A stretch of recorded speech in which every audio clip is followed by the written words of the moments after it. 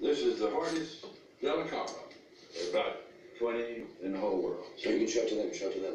This book describes the various kinds of demons, helps you identify them, and then uh, recommends the process for getting rid of that demon.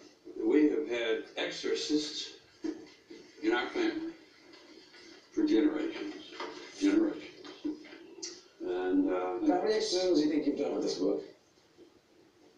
150, 150 exorcisms, yeah. The original story of Lucifer is this. Lucifer indeed was an angel at one point. Some people say that he was actually the choir master of heaven, for lack of a better word. He was helping raise hosannas to God. But he decided he wanted the praise himself. And with that, God cast him out of heaven. He took a third of the host of heaven with him.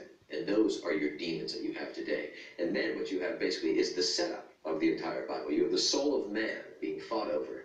God wants you to turn to the light of him, and Satan wants to grab your soul. Because ultimately, Satan wants to overthrow God. So you just clash. The Bible is filled with demons. If you believe in God, you have to believe in the devil. Jesus himself was an exorcist. Therefore, if you're a Christian and you believe in the Bible and you believe in Jesus Christ, you have to believe in demons.